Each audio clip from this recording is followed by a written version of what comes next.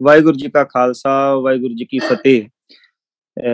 ਅੱਜ ਅੱਜ ਅਸੀਂ ਵਾਇਸ ਆਫ ਮਾਨਵਤਾ ਦੇ ਉੱਤੇ, ਜੋ ਇਜ਼ਰਾਈਲ ਤੇ ਫਿਲਿਸਤੀਨ ਦੇ ਵਿੱਚ ਜੰਗ ਜਿਹੜਾ ਇਹ ਮਾਹੌਲ ਬਣਿਆ ਹੋਇਆ ਹੈ, ਉਥੇ ਉਹਦੇ ਬਾਰੇ ਜਿਹੜੀ ਹੈਗੀ ਗੱਲਬਾਤ ਕਰਨ ਦੇ ਵਾਸਤੇ ਜਿਹੜੇ ਹੈਗੇ ਅੱਜ ਅਸੀਂ ਆਪਸ ਜੁੜੇ ਆ ਭਾਈ ਦਿਲਬਾਗ ਸਿੰਘ ਜੀ ਬਲੇਰ ਸਾਹਿਬ ਸਾਡੇ ਨਾਲ ਹੈ। ਮੈਂ ਉਹਨਾਂ ਨੂੰ ਪਹਿਲਾਂ ਫਤਿਹ ਬੁਲਾਉਣਾ ਵਾਹਿਗੁਰੂ ਜੀ ਕਾ ਖਾਲਸਾ, ਵਾਹਿਗੁਰੂ ਜੀ ਕੀ ਫਤਿਹ। ਵਾਹਿਗੁਰੂ ਜੀ ਕਾ ਖਾਲਸਾ ਵਾਹਿਗੁਰੂ ਜੀ ਕੀ ਫਤਿਹ ਜੀ ਸਾਰਿਆਂ ਨੂੰ ਇਹ ਵਾਇਸ ਆਫ मानता इसमें इस एक खासियत है कि हम पूरे संसार का भला जैसे सोचते हैं जब मानवता की बात आती तो सैव श्री गुरु गोविंद सिंह महाराज जी का कथन याद आता है मानस की जात सब एक है पहचान जहां जहां पर भी मनुष्यता पर हमला होता है कोई भी घटना घटती है तो सबसे जो मनुष्यतावादी इंसान है, उस पर सबसे ज़्यादा इसका असर होता है।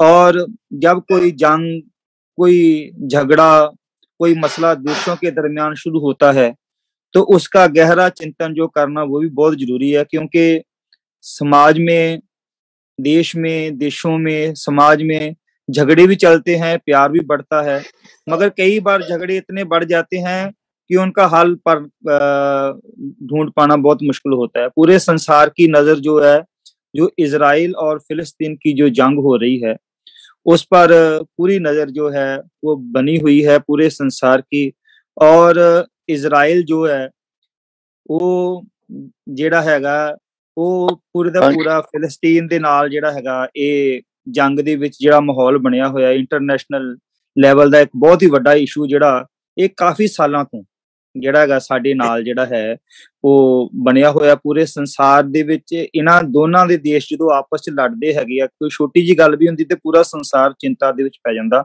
ਡਾਕਟਰ ਕਿਰਪਾਲ ਸਿੰਘ ਜੀ ਵੀ ਸਾਡੇ ਨਾਲ ਜੁੜੇ ਆ ਮੈਂ ਉਹਨਾਂ ਨੂੰ ਫਤਿਹ ਅਰਜ਼ ਕਰਦਾ। ਵਾਹਿਗੁਰੂ ਜੀ ਕਾ ਖਾਲਸਾ ਵਾਹਿਗੁਰੂ ਜੀ ਕੀ ਫਤਿਹ। ਵਾਹਿ ਖਾਲਸਾ ਵਾਹਿ ਫਤਿਹ ਜੀ ਭਾਈ ਸਾਹਿਬ ਕੀ ਹਾਲ ਹੈ?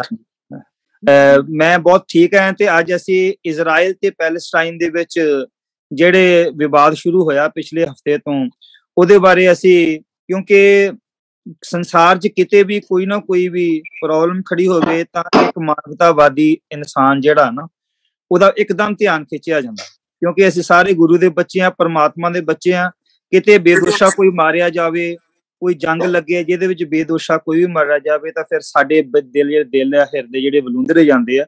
ਇਸ ਕਰਕੇ ਅਸੀਂ ਇਹ ਮੁੱਦਾ ਚੁਣਿਆ ਕਿ ਵਾਇਸ ਆਫ ਮਾਨਵਤਾ ਜਿਹੜੀ ਸਾਰਿਆਂ ਦੀ ਆਵਾਜ਼ ਆ ਕੱਲੀ ਸਿੱਖਾਂ ਦੀ ਜਾਂ ਕੱਲੇ ਹਿੰਦੁਸਤਾਨੀਆਂ ਦੀ ਜਾਂ ਕੱਲੇ ਜਿੱਥੇ ਜਿੱਥੇ ਸਾਡੇ ਕਲੋਜ਼ਿੰਗ ਬੈਠੇ ਕੱਲੀ ਉਹਨਾਂ ਦੀ ਆਵਾਜ਼ ਨਹੀਂ, ਉਹਨਾਂ ਦੀ ਵੀ ਆਵਾਜ਼ ਹੈਗੀ ਆ, ਜਿਹੜੇ ਇਹ ਜਿਹੜੀ ਜੰਗ ਜਿਹੜੀ ਲੱਗੀ ਹੈ ਤੋਂ ਪੀੜਤ ਹੋ ਰਹੇ ਆ। ਕਿਉਂਕਿ ਜੰਗ ਦਾ ਲੱਗਣਾ, ਹਥਿਆਰਾਂ ਦਾ ਚੱਲਣਾ ਜਿਹੜਾ ਹੈਗਾ, ਇਹ ਅਸੀਂ ਆਪ ਵੀ ਸਿਆ ਆ, ਭਾਰਤ ਦੇ ਵਿੱਚ ਜਦੋਂ ਜੰਗਾਂ ਹੁੰਦੀਆਂ ਭਾਈ ਦਿਲਬਾਗ ਸਿੰਘ ਜੀ ਬਲੇਰ ਅਸੀਂ ਕਿਉਂਕਿ ਜਦੋਂ ਅਸੀਂ ਆਪਣੇ ਦੇਸ਼ਾਂ ਦੀਆਂ ਗੱਲਾਂ ਕਰਦੇ ਆਂ ਬੰਬ ਚੱਲਦੇ ਦੇਖਦੇ ਆਂ, ਗੋਲੀਆਂ ਚੱਲਦੀਆਂ ਦੇਖਦੇ ਅਸੀਂ ਉਹ ਸਮਾਂ ਦੇਖਿਆ ਤੇ ਅਸੀਂ ਜਦੋਂ ਉਹਨਾਂ ਲੋਕਾਂ ਦਾ ਸੋਚਦੇ ਆਂ ਜਿਹੜੇ ਇਸ ਟਾਈਮ ਜੰਗ ਦੇ ਸਾਏ ਦੇ ਹੇਠ, ਹਥਿਆਰਾਂ ਦੇ ਸਾਏ ਦੇ ਹੇਠ ਆਪਣਾ ਜੀਵਨ ਬਸਰ ਕਰ ਰਹੇ ਆ ਤੇ ਫਿਰ ਸਾਡਾ ਦਰਦ ਜਿਹੜਾ ਝਲਕਣਾ ਜਿਹੜਾ ਸੁਭਾਵਿਕ ਹੈ।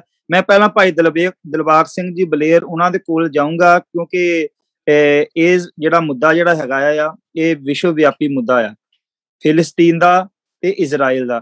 ਉਹਦੇ ਬਾਰੇ ਕੁਛ ਨਾ ਕੁਛ ਆਪਣੇ ਵਿਚਾਰ ਜਿਹੜੇ ਹੈਗੇ ਆ ਰੱਖਣ ਕਿ ਇਹ ਜੰਗ ਜਿਹੜੀ ਆ ਰੋਕਣ ਦੇ ਵਾਸਤੇ ਕਿ ਇਹ ਜੰਗ ਦੀ ਜਿਹੜੀ ਸਮੱਸਿਆ ਜਿਹੜੀ ਹੈਗੀ ਆ ਇਹਦੇ ਬਾਰੇ ਆਪਣੇ ਸੰਖੇਪ ਰੂਪ ਵਿੱਚ ਵਿਚਾਰਾਂ ਦੀ ਸ਼ੁਰੂਆਤ ਕਰਨਗੇ। ਭਾਈ ਦਿਲਬਾਗ ਸਿੰਘ ਜੀ। ਹਾਂਜੀ ਵਾਇਸ ਆਫ ਮਾਨਵਤਾ ਚੈਨਲ ਤੇ ਸਾਰੇ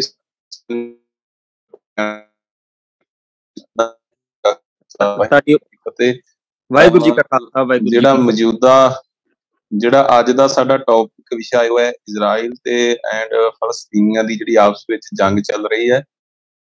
ਇਹਦੇ ਸਬੰਧ ਵਿੱਚ ਜਿਹੜੀ ਗੁਰੂ ਨਾਨਕ ਸਾਹਿਬ ਦੇ ਘਰ ਦੀ ਆਵਾਜ਼ ਸਿਧਾਂਤ ਹੈ ਉਹ ਹੈ ਹੱਕ ਦੀ ਆਵਾਜ਼। ਹੱਕ ਤੇ ਹੱਕ ਦੇ ਵਿੱਚ ਰਹਿਣਾ। ਕਿਉਂਕਿ ਜੰਗ ਕਿਸੇ ਵੀ ਦੁਨੀਆ ਦੇ ਖਿੱਤੇ ਦੇ ਵਿੱਚ ਲੱਗੇ ਸਾਡੇ ਗੁਰੂ ਸਾਹਿਬ ਨੇ ਵੀ ਕਿਹਾ ਹੈ ਕਿ ਲੜਾਈ ਦਾ ਨਾਮ ਮਾੜਾ ਹੈ।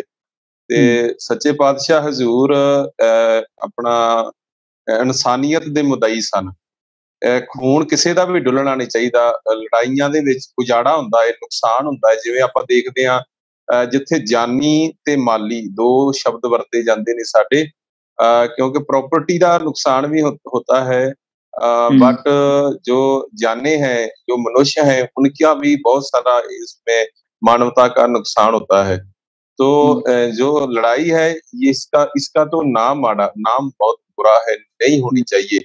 हमारे गुरु साहब ने लगती वक्त कोशिश की थी कि जो जंग है वो जो झगड़ा है उनको टाला जाए। जैसे गुरु नानक साहब पातशाह और गुरु हरगोबिंद साहिब छेवें गुरु फिर फिर दसवें गुरु के बारे में ये कहा जाता है कि उन्होंने बहुत सारी जंगे की हैं। जैसे चौदह अपनी जंगे उन्होंने जीती भी है लड़ी भी है पर एक सिद्धांत है बाबे नानक के घर का कि मजबूरी के वास्ते लड़नी पड़ी जंग क्योंकि पहल नहीं की। जो चाहता है इच्छा जो इच्छा रखता है मनुष्य लड़ाई लड़ने की वो हमेशा पहल करता है। आज भी यहाँ कहीं झगड़ा होता है वो झगड़े के पीछे जब हम जाके डीपली देखते हैं तो पहल किसने की है उनकी इच्छा का पता लग जाता है। वो हमारे गुरु साहब ने ਤੁਹਾਡੀ ਆਵਾਜ਼ ਕੱਟੀ ਜਾ ਰਹੀ ਹੈ ਭਾਈ ਦਿਲਬਾਗ ਸਿੰਘ ਜੀ ਤੇ ਡਾਕਟਰ ਹਾਂਜੀ ਡਾਕਟਰ कृपाल सिंह जी ਤੁਹਾਡੀ ਆਵਾਜ਼ ਤਾਂ ਠੀਕ ਹੋਏਗੀ क्योंकि ਉਹਨਾਂ ਦੀ ਆਵਾਜ਼ ਕੱਟ ਜਾ ਰਹੀ है गुरु तेग बहादुर साहब के बारे में हम जान सुनते हैं गुरु तेग बहादुर साहब ने डाके बंगाल में दो राज्यों का समझौता कराया था वो वैसे हम ये ये पाक रखना चाहते हैं कि मनुखी हकों की आज़ादी चाहिए सभी को हक चाहिए अपना किसी का हक छीनना नहीं चाहिए। जो जी अजराइल लोग हैं जो जो भाई हैं जे उनका हक है वो उन, उनको मिलना चाहिए। वो अपनी उन्नीस हमने जो हमारी नॉलेज में आया कि उन्नीस सौ अड़तालीस में अजराइली लोग ज़िले हैं उन्होंने अपनी ये जगह स्थापित की है। अपनी ये जगह पर वो आए हैं तो उनका हक है। जो कोर्ट का फैसला आने वाला था, उसके पहले एक महीना पहले ये जंग जी है, माहौल बढ़ गया तो आज पैंतीस लोग जो हैं, वहाँ मारे गए हैं और हमले हो रहे हैं। वे अच्छी बात नहीं है। बेवजह खून नहीं डुलना चाहिए, हम ये बात अर्ज़ करते हैं।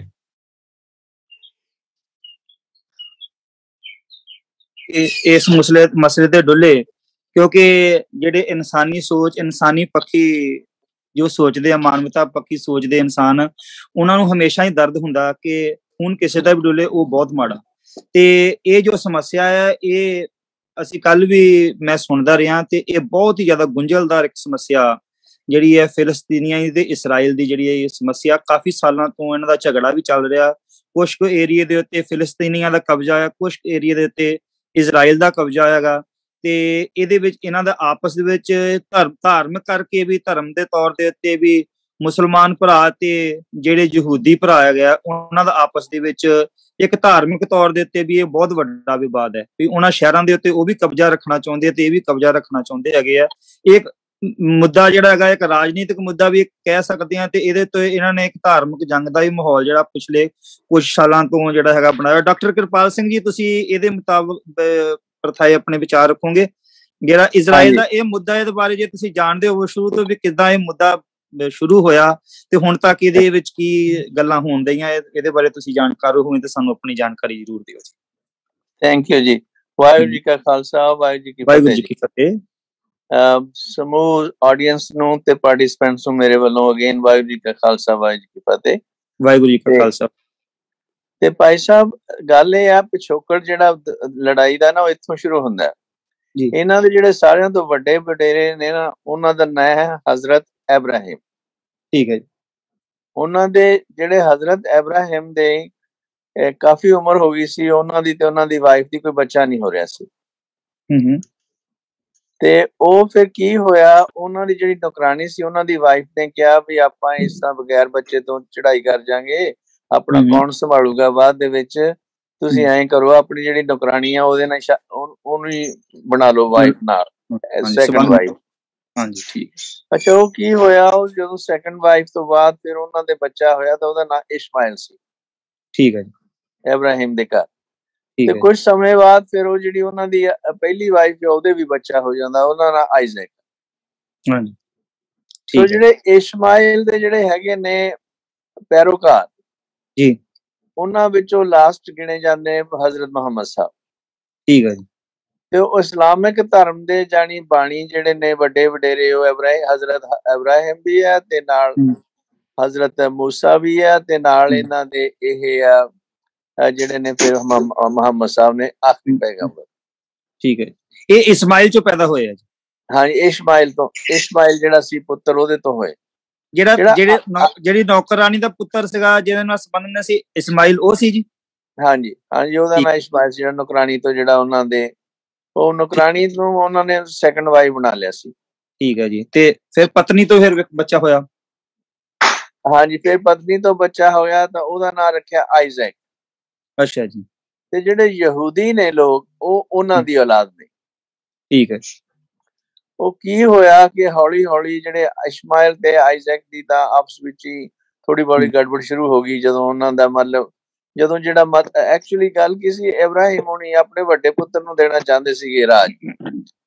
ਇਸਮਾਇਲ ਹਾਂਜੀ ਪਰ ਉਹਨਾਂ ਦੀ ਵੱਡੀ ਜਿਹੜੀ ਜਿਹੜੀ ਪਹਿਲੀ ਵਾਈਫ ਸੀ ਉਹ ਕਹਿੰਦੀ ਨਹੀਂ ਤੁਸੀਂ ਰਾਜ ਚਾਹੇ ਛੋਟਾ ਹੀ ਆ ਉਹ ਆਈਜ਼ੈਕ ਨੂੰ ਦਿਓ ਜਿਹੜਾ ਉਹਦਾ ਪੁੱਤਰ ਸੀਗਾ। ਠੀਕ ਹੈ। ਤੇ ਉਹਨੇ ਧੋਖੇ ਨਾਲ ਜਿਹੜਾ ਸੀ ਨਾ ਆਈਜ਼ੈਕ ਨੂੰ ਬਣਵਾਤਾ ਨੈਕਸਟ ਰਾਜਾ ਬਜਾਏ ਇਸਮਾਇਲ। ਠੀਕ ਹੈ ਜੀ। ਇਸਮਾਇਲ ਨੇ ਪਿਓ ਦਾ ਡਿਸੀਜਨ ਸਮਝ ਗਿਆ ਆਪਣੇ ਪਿਤਾ ਦਾ ਉਸੇ ਨੂੰ ਮੱਥੇ ਤੇ ਮਨਜ਼ੂਰ ਕਰ ਲਿਆ ਤੇ ਉਹਨੇ ਕੋਈ ਵੱਧ ਘੱਟ ਨਹੀਂ ਗਿਆ ਪਰ ਗਾਂ ਹੌਲੀ ਹੌਲੀ ਉਹਨਾਂ ਦੇ ਹਾਲਾਤ ਜਿਹੜੇ ਖਰਾਬ ਹੋਣ ਲੱਗੇ ਤੇ ਗਾਂ ਜਿਹੜੇ ਇਸਮਾਇਲ ਦੇ ਡਿਸੈਂਡੈਂਟ ਸੀਗੇ ਤੇ ਇਧਰ ਆਈਜ਼ੈਕ ਦੇ ਉਹਨਾਂ ਦੀ ਇੱਕ ਨਾਲ ਹੋਰ ਵੀ ਜਿੱਦ ਹੋ ਗਈ। ਕਜ਼ਨ ਹੈਗੇ ਕਜ਼ਨ ਨੇ ਇੱਕ ਦੂਜੇ ਦੇ। ਠੀਕ ਹੈ ਜੀ। ਉਹ ਜਿਉਂ ਜਿਉਂ ਵਾਦੀ ਗਏ ਨਹੀਂ ਉਹਦੇ ਕੀ ਹੋਇਆ ਕਿ ਇਸਮਾਇਲ ਦੇ ਸੀਗੇ ਪੈਰੋਕਾਰ ਉਹਨਾਂ ਨੇ ਜਿੱਤ ਲਿਆ ਉਹ ਜਿਹੜੇ ਦੂਜੇ ਸੀ ਆਈਜ਼ੈਕ ਦੇ। ਠੀਕ ਹੈ। ਜੀ? ਹਾਂਜੀ। ਉਹਦੇ ਕੀ ਹੋਇਆ? ਉਹਨਾਂ ਨੇ ਫਿਰ ਉਹਨਾਂ ਨੂੰ ਐਗਜ਼ਾਈਲ ਕਰਤਾ ਉਹ ਇਜੀਪਟ ਵਗੈਰਾ ਤੇ ਹੋਰਨਾਂ ਇਲਾਕਿਆਂ 'ਚ ਚਲੇ ਗਏ ਜਾ ਕੇ ਉੱਥੇ ਉਹ ਕਾਫੀ ਚਿਰ ਉਹ ਸਲੇਵ ਰਹੇ। ਤੇ ਉਹਨਾਂ ਦੇ ਬਾਅਦ ਦੇ ਵਿੱਚ ਫਿਰ there is a long history Gandhi ਦਾ। ਤੇ ਜਿਹੜੇ ਸੀਗੇ ਇਸਮਾਇਲ ਦੇ ਉਹ ਰਾਜ ਭਾਗ ਦੇ ਹੋ ਗਏ ਕਾਬੂ ਕਰ ਲਿਆ ਉਹਨਾਂ ਨੇ। ਪਰ ਰਿਐਲਿਟੀ ਦੇ ਵਿੱਚ ਜਿਹੜਾ ਸੀਗਾ ਉਹ ਬਿਲੋਂਗ ਕਰਦਾ ਸੀਗਾ ਇਹਨਾਂ ਅੱਗੇ ਸੀ ਤਾਂ ਕਰਕੇ ਹਾਰਨ ਕਰਕੇ ਉਹਨਾਂ ਨੂੰ ਨਿਕਲਣਾ ਪਿਆ। ਹਾਂਜੀ। ਉਹੇ ਜੀ ਗੱਲ ਹੈ ਜੇ ਮਹਾਭਾਰਤ ਦੇ ਵਿੱਚ ਸੀ ਕੌਰਵਾਂ ਦੇ ਪਾਂਡਵਾਂ ਦੇ ਯੁੱਧੀ ਹਾਂਜੀ ਹਾਂਜੀ। ਤੇ ਉਹਨਾਂ ਨੇ ਫਿਰ ਸਮਝੌਤਾ ਨਹੀਂ ਕੀਤਾ ਤੇ ਉਹ ਬਸ ਲੜਦੇ ਪਿੱਟਦੇ ਲੜਦੇ ਪਿੱਟਦੇ ਰਹੇ ਨੇ। ਤੇ ਹੁਣ ਦੇ ਹਾਲਾਤ ਹੋ ਗਏ ਨੇ। 1948 ਦੇ ਵਿੱਚ ਕਿਉਂਕਿ ਯਹੂਦੀ ਲੋਕ ਕਾਫੀ ਸਾਇੰਟਿਸਟ ਤੇ ਹੋਰਨਾਂ ਚੀਜ਼ਾਂ ਦੇ ਵਿੱਚ ਕਾਫੀ ਹੈਗੇ ਨੇ ਮਾਹਰ ਤੇ ਨਾਲੇ ਉਹ ਵੈਲਥੀ ਲੋਕ ਵੀ ਨੇ। ਪਲੱਸ ਉਹਨਾਂ ਨੂੰ ਬੜਾ ਨੁਕਸਾਨ ਹੋਇਆ ਸੀ ਜਰਮਨੀ ਦੀਆਂ ਲੜਾਈਆਂ ਦੇ ਵਿੱਚ ਉਹਨਾਂ ਤੋਂ ਬਹੁਤ ਸਾਰੇ ਕਤਲ ਕਰ ਦਿੱਤੇ ਗਏ ਸੀ। ਤੇ ਨੇਸ਼ਨਸ ਨੇ ਇਕੱਠਾ ਕੇ ਲੀਗ ਆਫ ਨੇਸ਼ਨ ਨੇ ਫੈਸਲਾ ਕਰਤਾ ਸੀਗਾ ਕਿ ਵੀ ਇਹਨਾਂ ਨੂੰ ਆਪਾਂ ਇਹਨਾਂ ਦਾ ਮੁਲਕ ਦਈਏ ਤੇ ਉਹ ਚਾਹੁੰਦੇ ਵੀ ਸੀ। ਜਿਵੇਂ ਆਪਣੇ ਲੋਕ ਕਹਿੰਦੇ ਸਾਡੇ ਕੋਲ ਖਾਲਿਸਤਾਨ ਹੋਣਾ ਚਾਹੀਦਾ। ਤੇ ਉਹ ਫਿਰ ਇਹਨਾਂ ਦਾ ਮੁਲਕ ਇਹਨਾਂ ਨੂੰ ਜਿਹੜਾ ਫਲਸਤੀਨ ਦਾ ਹਿੱਸਾ ਸੀ ਉਹਨੂੰ ਕੱਟ ਕੇ ਹੀ ਦੇਣਾ ਪਿਆ ਨਾ ਮੁਲਕ ਬਣਾਉਣਾ ਪਿਆ। ਤੇ ਉਹ ਕਹਿੰਦੇ ਆ ਉਹ ਸਾਡਾ ਇਲਾਕਾ ਉਹ ਕਹਿੰਦੇ ਆ ਸਾਡਾ ਇਲਾਕਾ। ਉਹ ਕਹਿੰਦੇ ਆ ਪਿਤਾ ਪੁਰਖੀ ਚ ਸਾਡਾ ਰਾਜ ਸੀਗਾ ਇੱਥੇ। ਉਹ ਕਹਿੰਦੇ ਆ ਨਹੀਂ ਵੀ ਹੁਣ ਸਾਨੂੰ ਦਿੱਤਾ ਹੈਗਾ ਵਾਪਸ। ਉਹ ਕਹਿੰਦੇ ਆ ਵੀ ਨਹੀਂ ਅਸੀਂ ਤੁਹਾਨੂੰ ਨਹੀਂ ਦੇਣਾ ਇਲਾਕਾ। ਬਸ ਇਤੋਂ ਗੜਬੜ ਚੱਲਦੀ ਚੱਲਦੀ ਚੱਲਦੀ ਚੱਲਦੀ ਗਾਂ ਦੀ ਗਾਂ ਗਾਂ ਦੀ ਗਾਂ ਵਧੀ ਜਾਂਦਾ ਕੰਮ ਇਹਨਾਂ ਦਾ। ਕਿਉਂਕਿ ਦੋਨਾਂ ਦੀ ਜਿਹੜੀ ਬੈਕਗ੍ਰਾਉਂਡ ਆ ਉਹਨੂੰ ਕਹਿੰਦੇ 올ਡ ਟੈਸਟਾਮੈਂਟ ਹਾਂਜੀ। ਉਹ 올ਡ ਟੈਸਟਾਮੈਂਟ ਦੇ ਅਸੂਲ ਨੇ ਉਹਦੇ ਚ ਇਹ ਆ ਜੇ ਤੁਹਾਡਾ ਕੋਈ ਨੱਕ ਕੱਢ ਦਿੰਦਾ ਤੁਸੀਂ ਉਹਦੇ ਦੂਜੇ ਦਾ ਨੱਕ ਕੱਢ ਦਿਓ। ਇਹ ਕਹਿੰਦੇ ਅੱਖ ਕੱਢਦੀ ਤਾਂ ਉਹਦੀ ਅੱਖ ਕੱਢ ਦਿਓ ਤੁਸੀਂ ਵੀ। ਮੰਨ ਲਓ ਬਦਲਾਵਾਦੀ ਦਾ ਜਿਹੜਾ ਇਲਾਕਾ ਉਹਨਾਂ ਦੇ ਵਿੱਚ ਬਹੁਤ ਜ਼ਰੂਰੀ ਹੈ। ਬਦਲਾਵਾਦੀ ਦਾ ਫੈਸਲਾ ਨਹੀਂ ਕਰਦੇ ਛੇਤੀ ਕੀਤੇ। ਸਾਡੇ ਨਹੀਂ ਹੈ ਜਿਵੇਂ ਸਿੱਖਾਂ ਦੇ ਵਿੱਚ ਹੈਗਾ ਨਾ ਕੋਈ ਵੈਰੀ ਨਹੀਂ ਬਗਾਨਾ ਸਗਲ ਸੰਗ ਹਮਕੋ ਬਣਾਈ ਇਹ ਮਾਫ ਨਹੀਂ ਕਰਦੇ ਛੇਤੀ ਕੀਤੇ। ਠੀਕ ਹੈ ਤੇ ਉਹ ਇਸ ਗੱਲ ਤੋਂ ਇਹਦਾ ਜਿਹੜਾ ਰੌਲਾ ਗੋਲਾ ਚੱਲੀ ਜਾਂਦਾ ਵਧੀ ਜਾਂਦਾ ਵਧੀ ਜਾਂਦਾ। ਪਰ ਅਖੀਰ ਤੇ ਫੈਸਲਾ ਤਾਂ ਇਹੀ ਹੋਣਾ ਹੈਗਾ ਕਿ ਵੀ ਇਹਨਾਂ ਨੂੰ ਸਮਝੌਤਾ ਹੀ ਕਰਨਾ ਪੈਣਾ। ਸਮਝੌਤੇ ਬਗੈਰ ਕੋਈ ਗੁਜ਼ਾਰਾ ਨਹੀਂ। ਪਰ ਉਹ ਹਲੇ ਕੋਈ ਵੀ ਉਹਨਾਂ ਜੋ ਤਿਆਰ ਨਹੀਂ ਬੜੇ ਲੋਕਾਂ ਨੇ ਕੋਸ਼ਿਸ਼ ਕੀਤੀ ਅਮਰੀਕਾ ਵਾਲਿਆਂ ਨੇ ਇੰਗਲੈਂਡ ਵਾਲਿਆਂ ਨੇ ਉਹਨਾਂ ਸਮਝੌਤਾ ਕਰਾਉਣ ਦੀ। ਸੋ ਇਹਦਾ ਪਿਛੋਕੜਾ ਜੀ ਮੈਂ ਕਿਹਾ ਤੁਹਾਨੂੰ ਦੱਸ ਦਿਆਂ ਬਰੀਫਲੀ। ਬਹੁਤ ਧੰਨਵਾਦ। ਸਾਹਿਬ ਤੁਸੀਂ ਕਿਉਂਕਿ ਸਾਨੂੰ ਇਹਨਾਂ ਚੀਜ਼ਾਂ ਦਾ ਜਿਹੜਾ ਹੈਗਾ ਨਾ ਬੜਾ ਕਿਉਂਕਿ ਹਰ ਇੱਕ ਬੰਦਾ ਜਿਹੜਾ ਨਾ ਆਪਣੀ ਆਪਣੀ ਨੌਲੇਜ ਰੱਖਦਾ ਕਿਉਂਕਿ ਉਹਦਾ ਆਪਣਾ ਆਪਣਾ ਫੀਲਡ ਹੁੰਦਾ। ਤੁਸੀਂ ਇਸ ਫੀਲਡ ਬਾਰੇ ਆਪਣੀ ਜਾਣਕਾਰੀ ਦਿੱਤੀ। ਇਹਦਾ ਅਸੀਂ ਤਾਂ ਵਾਇਸ ਆਫ ਮਾਨਵਤਾ ਦੀ ਤਰਫ ਤੋਂ ਵੀ ਤੁਹਾਡਾ ਅਸੀਂ ਧੰਨਵਾਦ ਕਰਦੇ ਹਾਂ ਤੇ ਸਾਨੂੰ ਵੀ ਬੜੀ ਖੁਸ਼ੀ ਹੋਈ, ਸਾਨੂੰ ਵੀ ਇਹ ਨੌਲੇਜ ਤੋਂ ਪਤਾ ਲੱਗਿਆ ਕਿ ਜੋ ਧਰਮ ਦੇ ਨਾਮ ਦੇ ਤੇ ਜੰਗਾਂ ਲੜੀਆਂ ਜਾਂਦੀਆਂ ਹੈਗੀਆਂ, ਉਹਦੇ ਪਿੱਛੇ ਜਿਹੜੀਆਂ ਕਈ ਵਜ੍ਹਾ ਜਿਹੜੀਆਂ ਉਹ ਹੁੰਦੀਆਂ ਕਿਉਂਕਿ ਮਾਨਵਤਾਵਾਦੀ ਜਿਹੜੀ ਸੋਚ ਰੱਖਣੀ ਹੈ ਨਾ, ਉਹ ਕਿਸੇ ਵਿਰਲਿਆਂ ਦੇ ਹੱਥ ਦੇ ਵਿੱਚ ਆਉਂਦੀ ਹੈਗੀ। ਤੇ ਕਈਆਂ ਦੇ ਮਨ ਦੇ ਵਿੱਚ ਇਹ ਫਿਰ ਜਿੱਦਾਂ ਸ਼ਰੀਕੇ ਭਾਈਚਾਰੇ ਦੀ ਇੱਕ ਜਿੱਦਾਂ ਲੜਾਈ ਹੁੰਦੀ ਹੈ, ਧਰਮ ਦੇ ਨਾਂ ਦੇ ਉੱਤੇ ਇੱਕ ਸ਼ਰੀਕੇ ਭਾਈਚਾਰੇ ਦੀ ਲੜਾਈ ਜਿਹੜੀ ਹੈ ਇਹ ਕਹੀ ਜਾ ਸਕਦੀ ਆ। ਜਿਹਦਾ ਅੰਤ ਜਿਹੜਾ ਹੈਗਾ ਆ, ਉਹ ਸਹਿਜੇ ਕੀਤੇ, ਕਿਉਂਕਿ ਗੱਲ ਇਹ ਵੀ ਇਹਦੇ ਨਾਮ ਦੇ ਉੱਤੇ ਜਦੋਂ ਆਪਸ ਵਿੱਚ ਕੋਈ ਬੰਦੇ ਆਪਸ ਵਿੱਚ ਲੜਦੇ ਹੋਣ ਜਾਂ ਇਹ ਦੇਸ਼ ਲੜ ਰਹੇ ਆ, ਇਹਨਾਂ ਦੇ ਪਿੱਛੇ ਬੈਕ ਪਾਵਰਸ ਆ ਜਾਂਦੀਆਂ। ਜਿੱਦਾਂ ਇਜ਼ਰਾਈਲ ਦੇ ਪਿੱਛੇ ਸਪੋਰਟ ਕਰਨ ਦੇ ਵਾਸਤੇ ਕੁਝ ਮੁਲਕ ਆ ਗਏ, ਉਧਰੋਂ ਫਿਲਸਤੀਨ ਦੇ ਜਾਂ ਅਰੇਬਿਕ ਭਰਾਵਾਂ ਦੇ ਪਿੱਛੇ, ਉਹਨਾਂ ਦੇ ਲੜਨ ਦੇ ਪਿੱਛੇ ਉਧਰੋਂ ਉਹਨਾਂ ਦੀ ਬੈਕ ਦੇ ਉੱਤੇ ਆ ਗਏ। ਲੜ ਇਹ ਦੋਨੇ ਜਾਣੇ ਰਹੇ ਆ। ਕੋਈ ਇਹਨਾਂ ਨੂੰ ਹਥਿਆਰ ਸਪਲਾਈ ਕਰ ਰਿਹਾ, ਕੋਈ ਇਹਨਾਂ ਨੂੰ ਆਪਣੀ ਕਿਸੇ ਤਰੀਕੇ ਦੇ ਨਾਲ ਆਪਣੀ ਯੋਜਨਾ ਦੇ ਨਾਲ ਇਹਨਾਂ ਨੂੰ ਲੜਾ ਰਿਹਾ ਨੁਕਸਾਨ ਇਹਨਾਂ ਦੋਨਾਂ ਦਾ ਹੋ ਰਿਹਾ। ਬਿਲਕੁਲ ਇਹ ਕੋਈ ਸ਼ੱਕ ਨਹੀਂ। ਹਾਂਜੀ ਨਾਲੇ ਭਾਈ ਇੱਕ ਹੋਰ ਵੀ ਗੱਲ ਸੌਰੀ ਤੁਹਾਨੂੰ ਮੈਂ ਇੰਟਰਪਟ ਕਰ ਰਿਹਾ। ਇੱਕ ਹੋਰ ਇਹ ਵੀ ਗੱਲ ਹੈ ਇੱਥੇ ਕਿ ਭਈ ਜਿਵੇਂ ਆਪਣੇ ਸਿੱਖਾਂ ਦੇ ਵਿੱਚ ਨਾ ਬਾਬਾ ਸ੍ਰੀ ਚੰਦ ਹੋਣੀ ਅਲੱਗ ਹੋ ਜਾਂਦੇ ਨੇ ਅਦਾਸੀ ਆ ਜਾਂਦੇ ਨੇ ਫਿਰਕੀ ਚੰਦ ਦਾ ਅਲੱਗ ਸ਼ੁਰੂ ਹੋ ਜਾਂਦਾ ਤੀਰ ਮੱਲੀਏ ਅਲੱਗ ਸ਼ੁਰੂ ਹੋ ਜਾਂਦੇ ਆ ਇਸ ਤਰ੍ਹਾਂ ਫਿਰਕੇ ਬੜੇ ਬਣ ਗਏ। ਤੇ ਮਹਾਰਾਜ ਨੇ ਜਦੋਂ ਖਾਲਸਾ ਸਾਜਿਆ ਇਹ ਸਾਰੇ ਫਿਰਕਿਆਂ ਤੋਂ ਜਿਹੜਾ ਸਟਾ ਹੈਗਾ ਨਾਸ ਡਾਕਟਰਨ ਉਹਦੇ ਅਧੀਨ ਬਈ ਇਹਨਾਂ ਕਿਸੇ ਨਾਲ ਵਰਤਣਾ ਵਰਤਾਉਣਾ ਨਹੀਂ। ਅਸੀਂ ਸਿੱਧਾ ਜਿਹੜਾ ਗੁਰੂ ਘਰ ਦੇ ਨਾਲ ਗੁਰੂ ਮਹਾਰਾਜ ਦੇ ਨਾਲ ਜੁੜਨਾ। ਉਹ ਸਾਰੀਆਂ ਚੀਜ਼ਾਂ ਕੀਤੀਆਂ ਨਾ ਮੁਸਤ ਕਦਮ ਕੀਤੇ ਹੋ ਰਹੇ ਜੈ ਕੁੜੀ ਮਾਰ ਨੜੀ ਮਾਰ ਸਾਰੇ ਜਿਹੜੇ ਸੀਗੇ। ਇਹਨਾਂ ਦੇ ਵਿੱਚ ਵੀ ਇਸ ਤਰ੍ਹਾਂ ਦੀਆਂ ਜਿਉਂ-ਜਿਉਂ ਕਿਉਂਕਿ ਪੁਰਾਣੇ ਵੱਡੇ ਪੁਰਾਣੇ ਧਰਮ ਨੇ ਸਾਡੇ ਵਾਲਾ ਤਾਂ 550 ਸਾਲ ਹੈ ਇਹਨਾਂ ਦਾ 6000 ਸਾਲ ਪੁਰਾਣਾ ਚੱਲ ਚੱਲ ਰਿਹਾ। ਜੀ ਜੀ। ਤੇ ਜੋ ਜਿਹੜੇ ਹੈਗੇ ਆ ਮੁਹੰਮਦ ਮੁਹੰਮਦਨ ਵੀ ਹੈ ਤਾਂ ਬੜੇ ਪੁਰਾਣੇ ਜਿਹੜਾ ਉਹਨਾਂ ਦਾ ਮੁਹੰਮਦ ਸਾਹਿਬ ਹੋਏ ਨੇ ਅੱਜ ਤੋਂ 14 ਸਾਲ 100 ਸਾਲ ਪਹਿਲਾਂ। 100 ਸਾਲ ਪਹਿਲਾਂ ਹਾਂ ਜੀ ਜੀ। ਸੋ ਇਸ ਤਰ੍ਹਾਂ ਪਿਛੋਕੜ ਦੇ ਵਿੱਚ ਬੜੀਆਂ ਲੜਾਈਆਂ ਪੜਾਈਆਂ ਨੇ। ਉਹਨਾਂ ਦਾ ਜਿਵੇਂ ਸਾਡੇ ਰਾਜਪੂਤ ਲੜਦੇ ਰਹਿੰਦੇ ਸੀਗੇ ਹਿੰਦੂਆਂ ਦੇ ਵਿੱਚ ਉਹਨਾਂ ਨੇ ਇੱਕ ਦੂਜੇ ਦੇ ਵਿਰੋਧ ਕਰਕੇ ਇਸਲਾਮ ਵਾਲਿਆਂ ਨੂੰ ਮੁਹੰਮਦ ਬਿਨ ਕਾਸਮ ਨੂੰ ਸੱਦਾ ਦੇ ਦਿੱਤਾ। ਹੂੰ। ਤੇ ਇਸ ਤਰ੍ਹਾਂ ਦੀਆਂ ਪੁਰਾਣੇ ਇਤਿਹਾਸ ਦੇ ਨਾਲ ਹੀ ਬਹੁਤ ਡੂੰਘੀਆਂ ਗੱਲਾਂ ਨੇ। ਇਹਨਾਂ ਦਾ ਸਿੱਧਾ ਮਸਲਾ ਹੱਲ ਕਰਨਾ ਲੱਭਣ ਲੱਭਣਾ ਬੜਾ ਔਖਾ ਹੈ ਇਸ ਵੇਲੇ। ਕਿਉਂਕਿ ਇਹਨਾਂ ਦੇ ਵਿੱਚ ਬਦਲਾ ਭਾਵ ਦਾ ਜਿਹੜਾ ਹੈ ਨਾ ਉਹ ਬਹੁਤ ਵੱਡਾ ਇਹਨਾਂ ਦਾ ਇੱਕ ਹੈਗਾ ਡਾਕਟਰਨ ਕਿਉਂਕਿ ਬਿਲਕੁਲ ਇਹ ਗੱਲ ਹੈਗੀ ਹੈ, ਕਿਉਂਕਿ ਜਦੋਂ ਮਸਲੇ ਜਦੋਂ ਜ਼ਿਆਦਾ ਗੁੰਝਲਦਾਰ ਹੋ ਜਾਣਾ ਨਾ, ਫਿਰ ਉਹਨਾਂ ਦਾ ਹੱਲ ਕੱਢਣ ਦੀ ਬਜਾਏ ਹੁਣ ਜਿੱਦਾਂ ਬਾਕੀ ਦੇਸ਼ਾਂ ਦੀ ਗਰੁੱਪਿੰਗ ਦੀ ਮੈਂ ਜਿਹੜੀ ਗੱਲ ਕਰਨ ਦਿਆਂ ਇਹ ਵਰਲਡ ਪੋਲਿਟਿਕਸ ਦੇ ਉੱਤੇ, ਵੀ ਇਹਨਾਂ ਨੂੰ ਜਿਹਦਾ ਪੰਜਾਬੀ 'ਚ ਕਹਾਵਤ ਹੈ, ਘਰ ਬਹਿ ਕੇ ਤਮਾਸ਼ਾ ਫੂਕਣਾ, ਘਰ ਦੇ ਵਿੱਚ ਤਮਾਸ਼ਾ ਫੂਕਣ ਵਾਲੀ ਗੱਲ ਹੈ, ਵੀ ਜਿਹੜੇ ਦੂਸਰੇ ਦੇਸ਼ ਜਿਹੜੇ ਇਹਨਾਂ ਨੂੰ ਆਪਸ 'ਚ ਲੜਾ ਰਹੇ ਆ, ਉਹਨਾਂ ਦਾ ਕੁਝ ਨਹੀਂ ਜਾ ਰਿਹਾ, ਉਹਨਾਂ ਦੇ ਹਥਿਆਰ ਵੀ ਵਿਕ ਰਹੇ, ਉਹਨਾਂ ਦਾ ਸਭ ਕੁਝ ਹੀ ਠੀਕ ਹੋ ਰਿਹਾ, ਲੜੇ ਆਪਸ ਵਿੱਚ ਰਹੇ ਆ, ਨੁਕਸਾਨ ਇਹਨਾਂ ਦਾ ਆਪਸ ਵਿੱਚ ਹੋ ਰਿਹਾ ਤੇ ਇਹਨਾਂ ਦੀ ਲੜਾਈ ਨੂੰ ਹੋਰ ਮੰਗਾਇਆ ਜਾਂਦਾ ਜਦੋਂ ਵੀ ਇਹਨਾਂ ਦੀ ਲੜਾਈ ਨੂੰ ਹੋਰ ਵਧਾਇਆ ਜਾਂਦਾ, ਮੰਗਾਇਆ ਜਾਂਦਾ। ਇਹਨਾਂ ਦੇ ਜਿੱਦਾਂ ਇਹਦੇ ਵਿੱਚ ਜਲੇ ਦੇ ਉੱਤੇ ਤੇਲ ਪਾਉਣ ਵਾਲੀ ਗੱਲ ਕੀਤੀ ਜਾਂਦੀ ਹੈ, ਜਦੋਂ ਇਦਾਂ ਦੀ ਗੱਲ ਹੁੰਦੀ ਆ ਕਿ ਇਹਨਾਂ ਦਾ ਮਸਲਾ ਹੱਲ ਕਰਨ ਦੀ ਬਜਾਏ ਇਹ ਆਪਸ ਦੇ ਵਿੱਚ ਜਿਹੜੇ ਦੇਸ਼ ਹੈ ਇੱਕ ਦੂਜੇ ਦੇ ਪ੍ਰਤੀ ਜਿਹੜੇ ਹੈਗੇ ਆ ਵੈਰ ਭਾਵਨਾ ਜਾਂ ਜਿਹਦਾ ਪੰਜਾਬੀ 'ਚ ਅਸੀਂ ਕਹਿੰਦੇ ਨੇ ਵੀ ਕਿਹੜਾ ਕੱਢਣ ਦੀ ਕੋਸ਼ਿਸ਼ ਕਰਦੇ ਆ। ਇਹਨਾਂ ਦੇਸ਼ਾਂ ਦਾ ਆਪਸ ਦੇ ਵਿੱਚ ਜਿੱਦਾਂ ਹੁਣ ਰਸ਼ੀਆ ਦਾ ਤੇ ਅਮਰੀਕਾ ਦਾ ਕੋਈ ਮਸਲਾ ਹੋਊਗਾ, ਇਹਨਾਂ ਨੇ ਆਪਸ ਵਿੱਚ ਗਰੁੱਪਿੰਗ ਕੋਈ ਇੱਕ ਜਿਹੜਾ ਇੱਕ ਪਾਸੇ ਹੋ ਗਿਆ, ਦੂਜਾ ਦੂਸਰੇ ਪਾਸੇ ਹੋ ਗਿਆ ਤੇ ਉਧਰ ਆਪਣੀ ਗਰੁੱਪਿੰਗ ਕਰਨੀ ਸ਼ੁਰੂ ਕਰ ਦਿੰਦੇ ਆ। ਇਹਦੇ ਨਾਲ ਜਿਹੜਾ ਮਸਲਾ ਜਿਹੜਾ ਹੈਗਾ ਆ, ਕਈ ਵਾਰੀ ਤਾਂ ਇੱਥੇ ਤੱਕ ਵੀ ਅਸੀਂ ਜਦੋਂ ਛੋਟੇ ਹੁੰਦੇ ਸੀ ਸੁਣ ਚੰਦਾ ਸੀਗਾ ਵੀ ਕਈ ਵਾਰੀ ਜੇ ਵਰਲਡ ਵਾਰ ਦਾ ਜੇ ਤੀਸਰੀ ਦਾ ਕਾਰਨ ਬਣੂਗਾ ਤੇ ਇਹ ਵਾਲਾ ਮਸਲਾ ਜਿਹੜਾ ਫਿਲਸਤੀਨ ਦਾ ਤੇ ਇਜ਼ਰਾਈਲ ਦਾ ਹੱਲ ਨਹੀਂ ਹੁੰਦਿਆ, ਇਹ ਮਸਲਾ ਬਣ ਸਕਦਾ। ਇਹ ਜਦੋਂ ਛੋਟੇ ਹੁੰਦੇ ਜਦੋਂ ਪੜ੍ਹਦੇ ਹੁੰਦੇ ਸੀ, ਇਹ ਉਦੋਂ ਤੋਂ ਗੱਲਾਂ ਚੱਲਦੀਆਂ ਸੀਗੀਆਂ ਕਿ ਜਦੋਂ ਕਿਤੇ ਹਮਲਾ ਹੋਊਗਾ ਜਾਂ ਇਹਨਾਂ ਦਾ ਕਈ ਵਾਰੀ ਝਗੜਾ ਜੇ ਜ਼ਿਆਦਾ ਵਧਦਾ ਗਿਆ ਤੇ ਇਹ ਸੰਸਾਰ ਜੰਗ ਦਾ ਵੀ ਇੱਕ ਰੂਪ ਧਾਰਨ ਕਰ ਸਕਦਾ। ਭਾਈ ਦਿਲਬਾਗ ਸਿੰਘ ਜੀ ਤੁਸੀਂ ਉਹਦਾ ਇੱਕ ਮਿੰਟ ਭਾਈ ਸਾਹਿਬ ਇੱਕ ਮਿੰਟ। ਮੈਂ ਮੈਂ ਮੈਨੂੰ ਜਾਣਾ ਪੈਣਾ ਇੱਕ ਹੋਰ ਮੀਟਿੰਗ ਆ ਮੇਰੀ। ਤੇ ਮੈਂ ਇੱਕ ਹੋਰ ਗੱਲ ਕਹਿਣੀ ਚਾਹਨਾ ਕਿ ਸਾਨੂੰ ਇਹਨਾਂ ਨੂੰ ਇਸ ਵੇਲੇ ਜੀ। ਕਿਹੋ ਜਿਹੇ ਮਸੀਹੇ ਦੀ ਲੋੜ ਹੈ ਇਹੋ ਜਿਹੇ ਗੁਰੂ ਨਾਨਕ ਸਾਹਿਬ ਦੀ ਜਿਵੇਂ ਹਸਤੀ ਸੀ ਸਾਰਿਆਂ ਨੂੰ ਕਹਿ ਕੇ ਨਾ ਹਿੰਦੂ ਨਾ ਮੁਸਲਮਾਨ ਉਹਨਾਂ ਨੇ ਪ੍ਰਚਾਰ ਸ਼ੁਰੂ ਕੀਤਾ। ਅੰਤ ਦੇ ਵਿੱਚ ਲੋਕ ਕਹਿੰਦੇ ਸੀ ਨਾਨਕ ਸ਼ਾਹ ਫਕੀਰ ਹਿੰਦੂ ਦਾ ਗੁਰੂ ਮੁਸਲਮਾਨ ਦਾ ਪੀਰ। ਇੱਕ ਦੂਜੇ ਨੂੰ ਨੇੜੇ ਲੈ ਕੇ ਆਏ ਹਾਂਜੀ ਸੋ ਇਸ ਤਰ੍ਹਾਂ ਦਾ ਕੋਈ ਬੰਦਾ ਇਹਨਾਂ ਦੇ ਵਿੱਚ ਪੈਦਾ ਹੋਵੇ ਉਹੀ ਫੈਸਲਾ ਨਿਪਟਾ ਸਕਦਾ ਨਹੀਂ ਤਾਂ ਇਹ ਮੁੜ ਮੁੜ ਕੇ ਮੁੜ ਮੁੜ ਕੇ ਜਵਾਲਾਮੁਖੀ ਪਹਾੜ ਵਾਂਗੂ ਇਹ ਇਹਨਾਂ ਦੇ ਜੰਗਬਾਜ਼ੀ ਸ਼ੁਰੂ ਹੁੰਦੀ ਰਹਿੰਦੀ ਹੈ। ਹਾਂਜੀ ਇੰਨੀ ਮੇਰੀ ਕੰਟਰੀਬਿਊਸ਼ਨ ਪ੍ਰਵਾਨ ਕਰਨਾ ਮੈਨੂੰ sorry I have to go ਬਹੁਤ ਬਹੁਤ ਧੰਨਵਾਦ ਤੁਸੀਂ ਬੜੀ ਵੱਡਮੁੱਲੀ ਜਾਣਕਾਰੀ ਸਾਨੂੰ ਡਾਕਟਰ ਸਾਹਿਬ ਦਿੱਤੀ ਇਸ ਮਸਲੇ ਦੇ ਉੱਤੇ।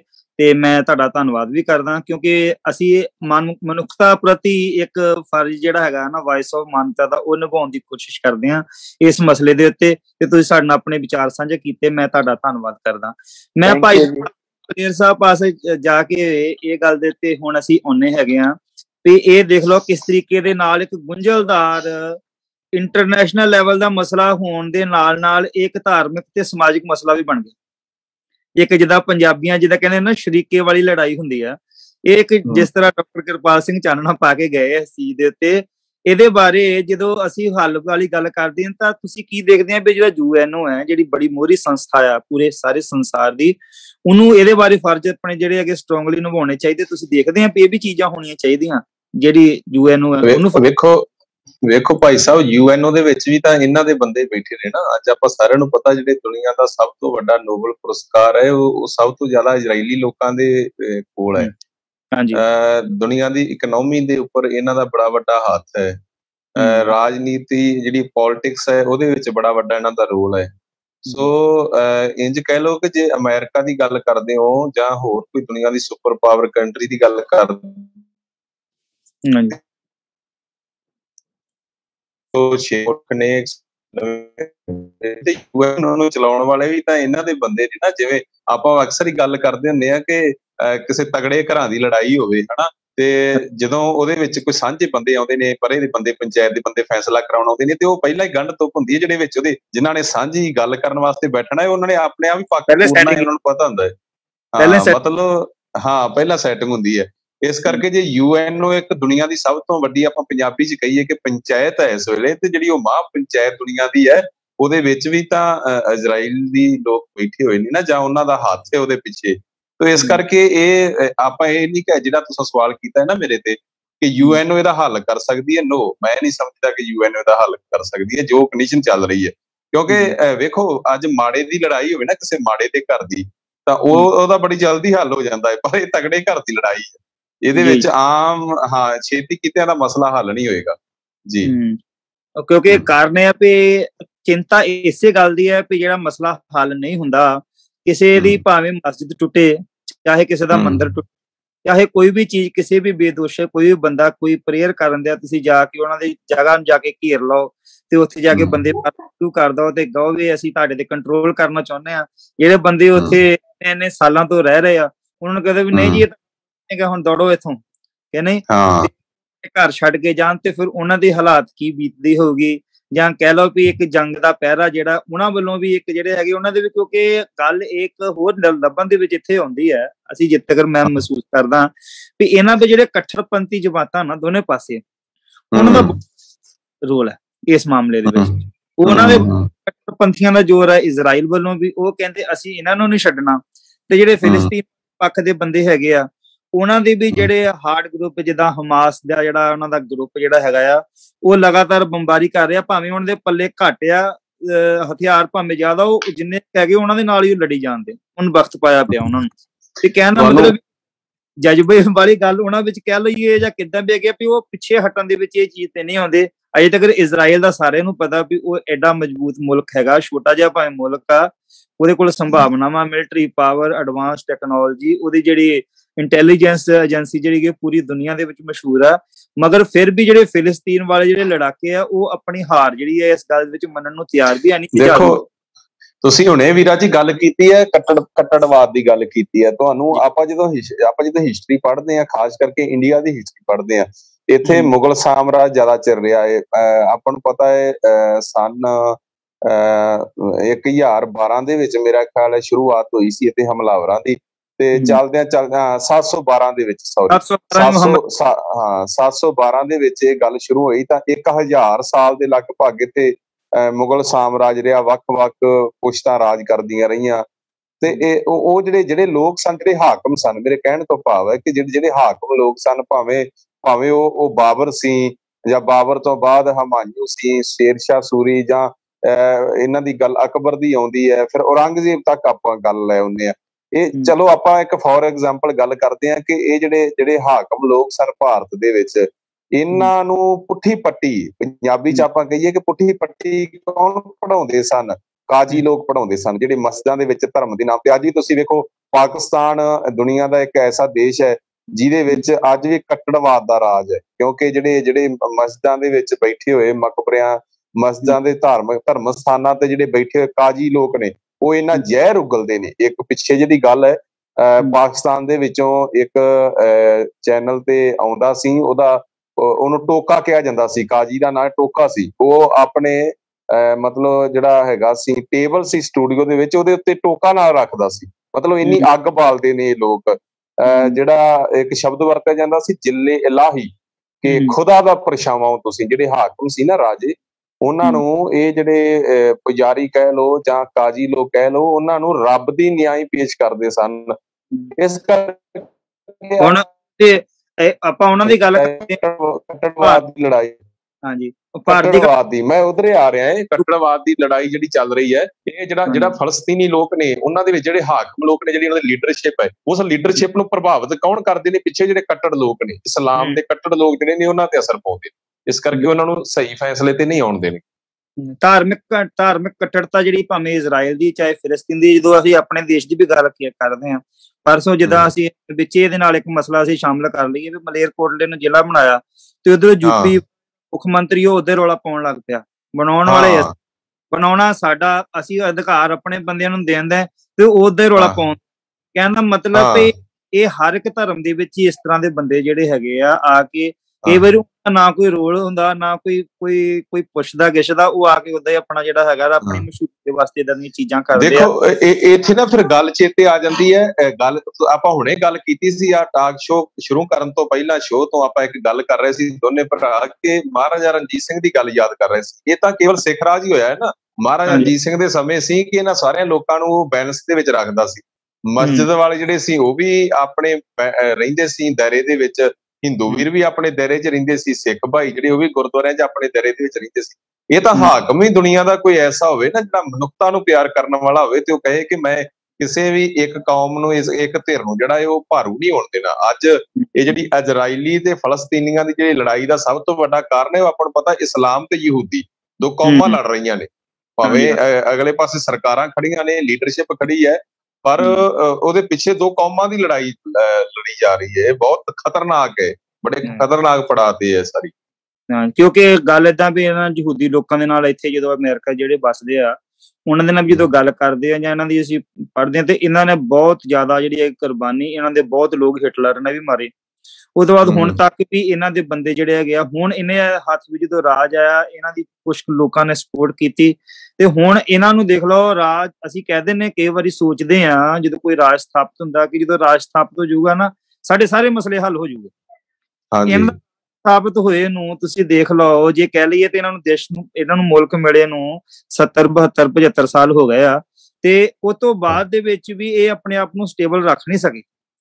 ਅਸੀਂ ਕਹਿੰਦੇ ਕਹਿੰਦੇ ਕਹਿਣਾ ਇਦਾਂ ਦੇ ਜਿਹੜੇ ਮਸਲੇ ਜੇ ਅਸੀਂ ਕਹਿ ਲਈਏ ਕਿ ਰਾਜ ਮਿਲ ਜੂਗਾ ਕਈ ਵਾਰੀ ਸਾਡੇ ਬੰਦੇ ਵੀ ਗੱਲ ਕਰਦੇ ਜੀ ਰਾਜ ਮਿਲ ਜੂ ਸਾਰੀਆਂ ਚੀਜ਼ਾਂ ਦਾ ਹੱਲ ਹੈ, ਰਾਜ ਮਿਲ ਜੂ ਸਾਰੀਆਂ ਚੀਜ਼ਾਂ ਦਾ ਹੱਲ ਹੈ।